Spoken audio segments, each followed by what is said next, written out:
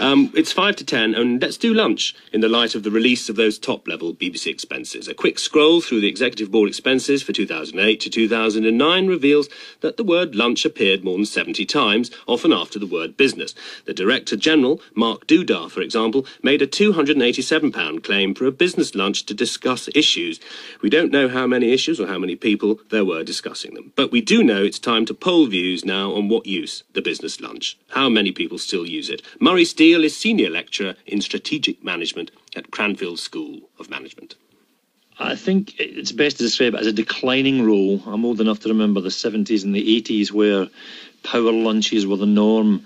And in fact, quite a lot of, of business and work was done over lunch, even though there was quite a lot of alcohol generally consumed. But today, I'd say it's not quite extinct, but it's certainly greatly reduced to how it used to be back in the in, in, the 80s, the boom days of the city in particular. So it is declining. It still has a role, but from personal experience and colleagues, I'm not aware that much business really gets done over lunch these days. Mm. Reason for that would be that most people actually spend lunch in a work environment or grab a quick lunch, such as a sandwich. Yes. So, I mean, are you saying that um, lunch is for wimps? It's kind of it, it's kind of become a bit like that. I mean, I know some people who think you know they feel guilty, you know, having an hour for lunch. So having two hours for lunch, two hours for lunch, unless there's a very clear purpose attached to it, you know, and, and some lightly valued outcome, then lunch for wimps is not a not a bad analogy. Well, who would defend the business lunch? Surprisingly, an expert in the field, a lady who lunched, or rather business lunched. I'll let her introduce herself. My name is Robin Jay. I am the author of The Art of the Business Lunch Building Relationships Between 12 and 2. I hosted more than 3,000 client lunches when I was in sales, and I saw my sales increase by more than 2,000%. So I originally wrote the book to share my tips and techniques for building better relationships by introducing a social aspect. Have you ever been known as the queen of the business lunch? yes, my clients started calling me that because they always knew that I knew where to go and what to do and what to accomplish during a business lunch.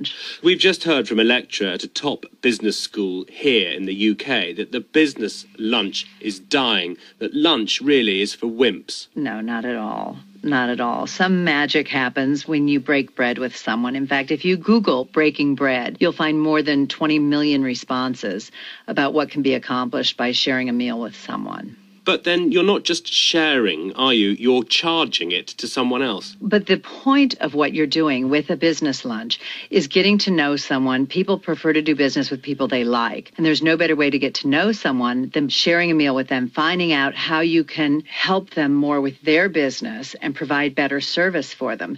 In fact, one of the very first stories in my book is about a gentleman, Art Fettig, who was being romanced by a company that wanted him to come to business with them. He went to lunch with this gentleman, and at the end of the lunch, the waitress wheeled over a big cart of desserts, expensive desserts.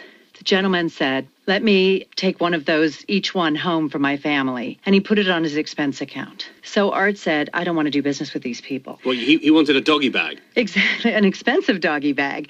So Art decided not to do business with them. And six months later, the company was bankrupt. So a business lunch, a social setting, is very revealing. It reveals your character.